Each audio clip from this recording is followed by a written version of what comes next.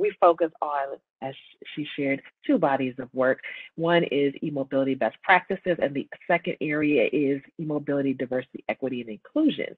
And so our approach is to really utilize a human-centric approach to engage with our partners and do our work. We are driven by work around uh, in terms of thinking about the public health implications and equity in the transportation sector. And so we're working to advance equitable e-mobility solutions particularly multimodal e-mobility solutions that are connected, shared, autonomous technologies.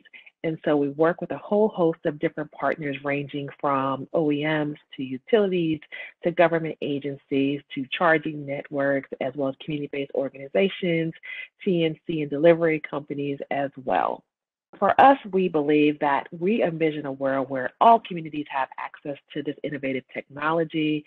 We want to make sure that it's widely accessible and available to particularly frontline communities who have been impacted worse than first by climate change. And so we believe that this world is a there is an opportunity to you know increase access as well as awareness to this technology.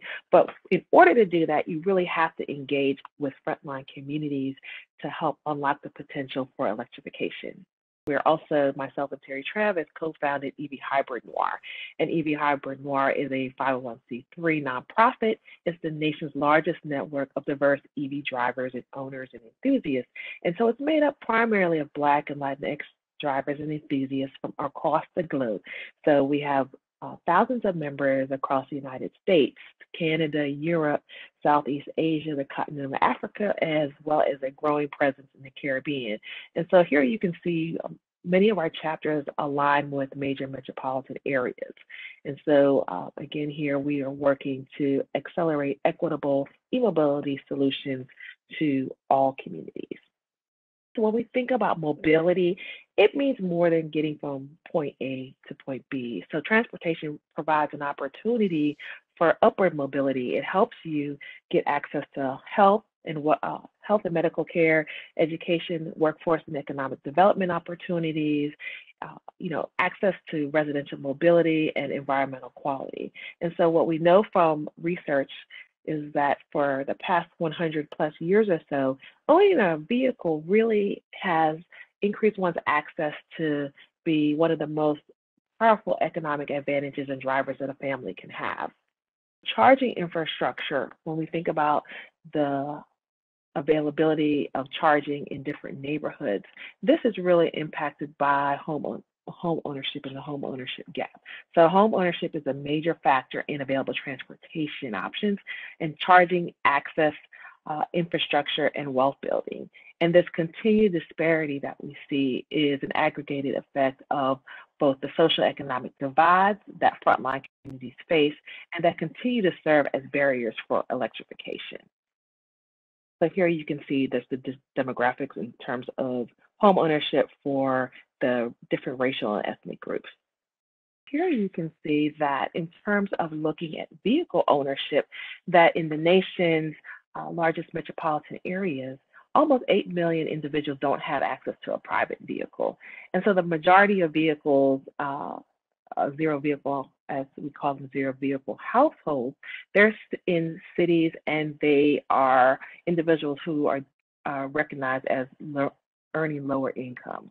So conversely, those households that have a higher income tend to be in the suburbs. They end up being middle or higher earners or higher income individuals. And so this uh, locational and income characteristics of zero uh, zero vehicle households really reinforces the need for stronger transportation services but transportation services that are electrified and utilize clean transportation so these zero emission households also end up having to commute much further to their employment, um, which is not typically suited, uh, you know, to uh, to get to in a timely manner because of the lack of transportation options. This is another issue that is, uh, you know, something that frontline communities, communities of color face in terms of, of access to charging. And so in order for individuals and communities to adopt this new technology, based on research that we facilitated, we find that there's some hesitancy in terms of there's a barrier around adoption. One of those barriers is knowledge. Another barrier is access to charging infrastructure.